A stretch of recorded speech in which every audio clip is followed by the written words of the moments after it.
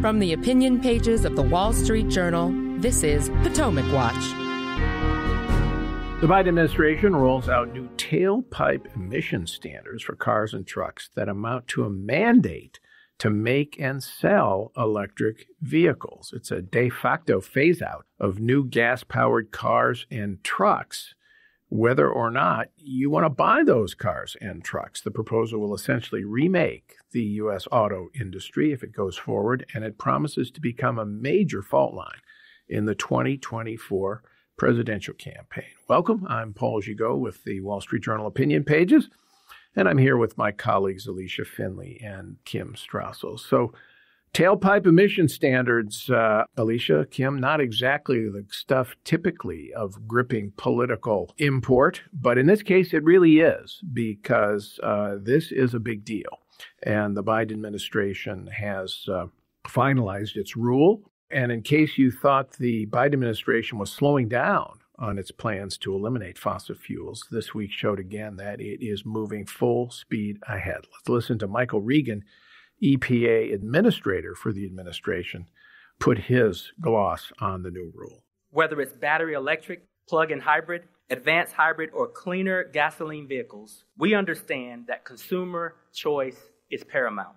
And the timing could not be more perfect. New technologies have been advancing rapidly. Battery costs are declining, consumer interest in EVs is increasing, and industry is investing heavily in the cars of the future. And EPA is not just supporting this momentum, we are providing regulatory certainty for industry innovation. And if history is any indication, we know that strong standards can and will be achieved through American manufacturing and with good paying American jobs. All right, consumer choice paramount, battery costs falling, consumer uh, pickup rising. Allysia, what do you make of the uh, the administrator's uh, statements? So there's a lot to unpack here. For one, EVs only make up about or less than 8% of the consumer market right now, and 60% of those are Teslas. So what this new rule would do, uh, it is a de facto EV mandate, despite the administration's trying to convince people otherwise. Uh, it would increase uh, the greenhouse gas emissions standard for new cars and trucks from 2027 to 2032. And there'd be a somewhat slower ramp up in the first several years than what it had proposed last spring. But by 2032, 70% of sales de facto must be either EVs or plug-in EVs, which are essentially plug-in hybrids. So only 30% of cars would even potentially be regular hybrids or internal combustion engine cars. So just so to underscore this point, there'll be choice, but it'll be a really limited choice. That's exactly right. Instead of mandating consumers buy EVs, which they, by the way, don't have the constitutional authority to do, they're saying, well, you won't really have any other choice because that's all that's going to be available.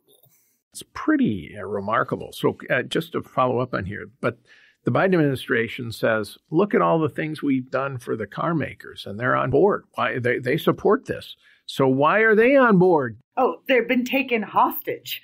I mean, essentially, they've been given these mandates. They've been told, we're going to give you a lot of money. You can either take all the money we give you and say that you're in favor of this, or we can make you do it anyway and we won't give you any money. That's not much of a choice either. so they have taken up the decision to grab the cheerleaders' pom poms and suggest this is going to work. And I actually find this a little bit despicable in that if anybody should know how failing a prospect this is, it ought to be the U.S. automakers. Last year, Ford had an operating loss of $4.7 billion on its EV unit. That was a loss of $63,731 per EV. GM had a $2.5 billion loss just this week. We saw the CEO of Hertz stepped down after what was described as an electric car horror show within that rental outfit because he committed the company to buy all these EVs that uh, that the renters don't want. Nobody would buy. This happened to me, by the way. I went to rent a car um, on a trip, and they were like, "Here's your EV." I was like, "Don't give me that key. I will not drive that under any circumstances." so you know, this was happening everywhere, and there's nothing in the industry to suggest that this is either going to work or be profitable. But right now, with the temptation of those dollars in front of their noses, the car makers are saying, "Fine." So, is this a Faustian bargain for the car makers? I'll put it this way: I think they're actually hoping for more subsidies to keep flowing and some of these leniency on the way that the tax credits in the IRA are crafted. This is the uh, Inflation Reduction Act. It's a $7,500 tax credit. Uh, and the conditions on it is that the parts and the battery materials must be made in the US or a country with which we have free trade agreements. And the problem with this, of course, is that right now they aren't. They're mostly made in China. Most of the battery materials and most of the minerals that go into the EVs cannot meet these standards. So actually fewer and fewer cars are going to be eligible for these subsidies in years going forward. So I think the, there's going to be some, I'm sure, backroom discussions between if Biden is reelected between the automakers and the White House about how to expand the subsidies and probably just rewrite the law so that they can qualify. Joe Manchin, the West Virginia Democrat who was the key vote Biden needed to pass the Inflation Reduction Act, has been shouting from the rooftops that the administration has already been expanding the terms for which you can get the subsidies, and he wants them limited to the, the U.S. terms that he said he signed up for in that bill. But the pressure is enormous from the auto companies to uh, wink, wink, and, and broaden them. And uh, you have to assume that if Biden is reelected, that pressure will ramp up even more and he'll probably make some accommodation there. Kim, what about the lessons here, if there are any, from uh, other countries? Because we've seen the European, particularly the German EV market, really under pressure from uh, imports from China to the point where they're now saying, well, we better put tariffs on that. And uh, you've seen the take up rate uh, uh, in the US and all these countries just isn't what the politicians had promised and hoped for because, you know, consumers just really aren't all that thrilled with uh, EVs. Now, I don't have anything against EVs.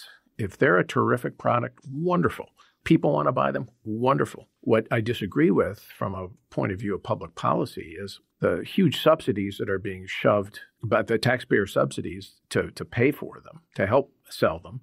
And then all these rules which limit your choice. So if you want to buy, you know, why can't we just buy the car that we want? Yeah, I'm with you. By the way, I don't have anything against them either. And indeed, for certain people in certain situations, they may well be the very best type of vehicle they could purchase. But that's actually a very small proportion of people. And in fact, here's what we're seeing. There was a lot of talk last year about the fact that EV sales were higher last year than they had ever been. Yay.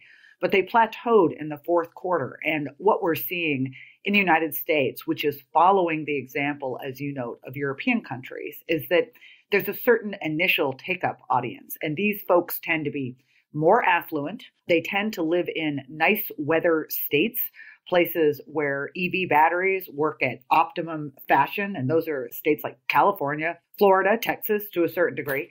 They tend to be second cars, not your primary car ownership, and very urbanized. Okay, those people have now bought their EVs. And as Allysia said, it's about 8% of the nation. Everybody else, they are unaffordable. They're not what folks want. They're not what folks need or require to get around longer distances or who live in colder temperatures. You know, some of the lowest take up of EVs in the country are states that are located in the northern geography of the United States because EVs, as we saw in Chicago, do not work in cold weather.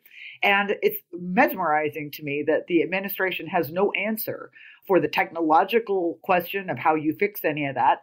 Instead, they're just saying, we're going to demand you do this. And it's going to cause massive havoc and meltdown at some point in the automotive market.